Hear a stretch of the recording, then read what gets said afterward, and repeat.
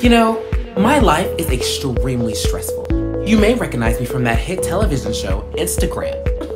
Hi, I'm Tony Talks, formerly known as Tony Talks.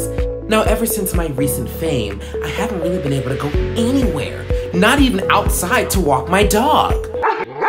If only there was something that I can wear that can, you know, disguise me from the outside world. Wait a second. Oh, my Sunday morning potato salad. I did not realize that I am wearing a hideaway hoodie. With this hoodie, I can disguise my appearance anywhere that I go. Watch. Hey, mom, can you bring your ass in here? Oh my goodness, what can my extremely regular, non-famous son want? What's up? Oh my gosh, who are you in my living room full of cameras? Mom, calm down. It's me, your very successful and famous son. oh my, I didn't even realize it was you, son. See, look.